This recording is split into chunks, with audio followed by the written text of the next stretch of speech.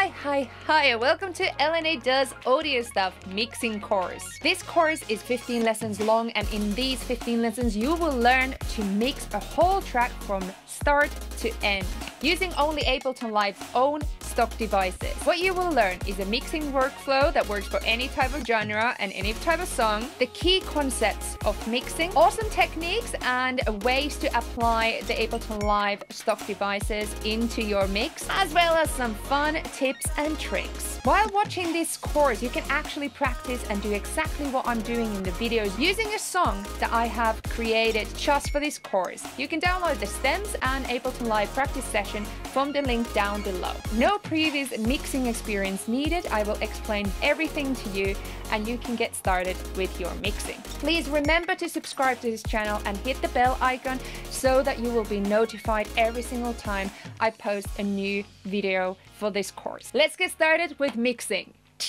Hey, this episode is about equalizer. Honestly, it's one of the best tools ever for mixing. One of the most important things ever. So, very excited about that. Also, thank you so much for our official sponsors, DistroKid, for sponsoring this whole mixing course. DistroKid has been so useful for me as an independent artist, and they have so many different features that really can help you to promote your releases. So please check out in the end of this video, I'm showing a little demonstration of my favorite features on DistroKid. But hey, now let's get into this tutorial. Okay, so now we have prepared, we know what gain staging is. We're gonna go and start mixing it. Finally! Episode 5. Here we are. Okay, so now we're gonna start with EQ. So we have different kind of EQs here. We have channel EQ, EQ8, and EQ3. If you want an intro or Lite, you only have a channel EQ and EQ3. So channel EQ has uh, three different bands. So we have the low band, we have a mid band, and we have a high band. Right, and then we have, of course, output control for gain staging, as we learned in the last episode. Channel EQ is like a limited version of this one, so EQ8. EQ8 has frequency control gain control and Q control. So these are controls for each band. We have eight bands of uh, filters that we can apply. Plus, we have these different controls here on the right to control everything even more in detail. I have a whole video about EQ8 done in my channel, so please go from the link down below and just check that out if you want to know what every single thing in this mean. But in this video, I'm just showing how to use EQ in mixing and how are we applying it point of mixing is to separate everything so that they all sound, all the elements, all the instruments sound good together as a as a thing. The most common issue with when you were trying to separate everything on their own place, we don't only mean like left or right or something, we also means frequency range. So frequency range means that we can actually separate things on a frequency spectrum. So this here is a frequency spectrum. Human hearing is from uh, from 20 hertz, which is around here, all the way to 20 kilohertz. That's how much we can hear, and that's why almost every single item any single sound is gonna be on this frequency range. What I mean with this is that I can take here a MIDI track and I can add a wavetable. So if I press, you can just see this pure tone on the EQ. You can see the notes going up and down. But rarely the world is full of pure tones. Example, guitar is not going to be on a pure tone. Example, vocals are not going to be pure tone. And what I mean with this is that they will have lots and lots of frequencies happening same time. So example, have a look now in a comparison what happens with vocals. So not only you can get a lot of frequencies in the middle, but you also have stuff happening on the right, all the way in the low end where we don't even hear. We don't even hear under 20 hertz, but we can still see frequencies in there. So actually, frequencies on every single sound, is it vocals, is it guitar, is it piano, it will have a lot of lot of stuff happening. But The fact is, we don't need all those frequencies. I don't need those frequencies here. I don't need here. I don't need all of this. I only need certain of them, certain certain frequencies of that signal. How do I know which ones I need? It depends of the mix and it depends on what instrument it is. But mostly it depends of the mix and also your artistry. So in mixing, I will say a lot of it depends. It depends because the fact is it does depend on so many aspects. The point of EQ is therefore cut away the frequencies that are unwanted. So the frequencies that are interfering with other frequencies on other tracks and also add resonance, so saturate the frequencies we want to hear from that. If we have a lot of frequencies happening on same time on the same area, example, mid frequencies is a really common area to have issues with. So example, we have five different vocals and all of them are playing same time and they're all happening around the similar frequency range. What happens then?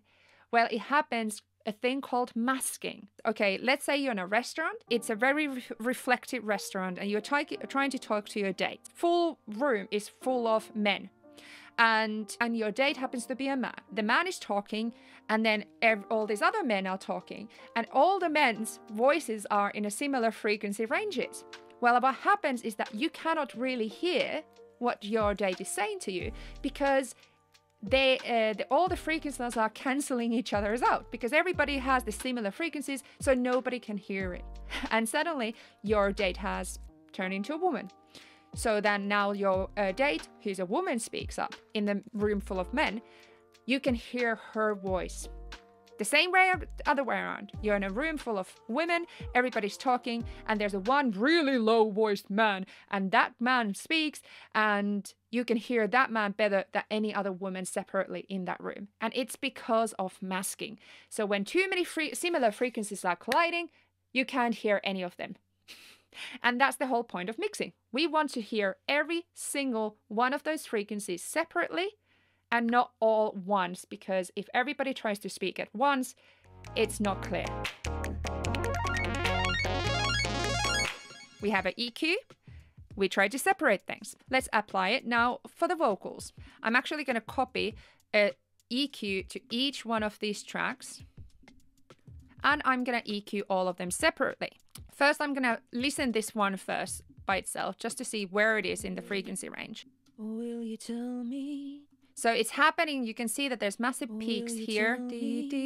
These two frequencies around there are really working on this. So what I already know from now is that I can cut the low end completely off. So I can go and add a high pass filter. And then how you apply it is that I take it forward, forward, forward, and as soon as I start hearing a ch- massive change, I stop and I take it notch back so that I don't cut too much off. So let's try that out. Will you tell me if you need me? So I can hear a change now. I'm gonna take it notch back and Will so you tell me like this. If you need me. I can also put the uh, headphone logo on and I can hear what happens in the high end. So is there a, some kind of frequency that I really like? Will you tell me if you need me. Mm-hmm. So example, this one works really well in 3K. So what I can do is add a little bit resonance on 3K for this vocal. So uh, this is the main one as well. So I can do that there. What I can do then is go to the around here which is the muddiness area here.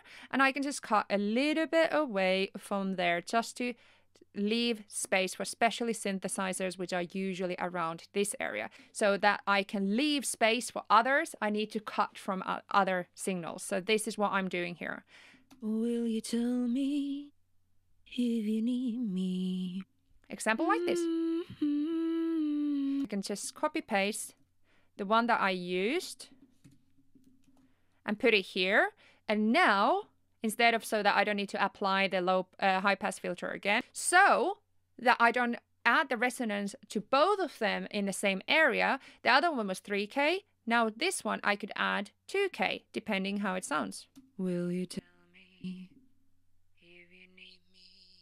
Actually, higher sounds better on this. So I might go to 5K. So now they're both slightly differently EQ'd. So this means that either these are not clashing with each other. Will you tell me if you need me? Because we can add several different EQs on the chain. The first EQ, I just cut away all the unnecessary thing and maybe add a tiny bit of resonance, but I don't add a lot of amount. This point, I just cut away. And this is what I just now work on every single thing, on all the vocals. Uh, I could go here and just add that. Listen to that separately. Ah. So example, this one works really well on the muddy area. So around 900, 700, there we go. So this slope would just uh, cut it too much. So it needs to... Ah.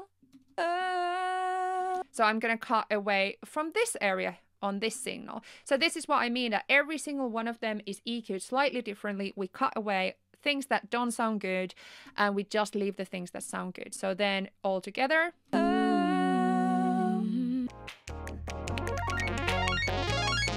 Now, what I would do is go to the mids and pianos and keys and do exactly the same thing. EQ8, especially again, I cut away everything that I don't need.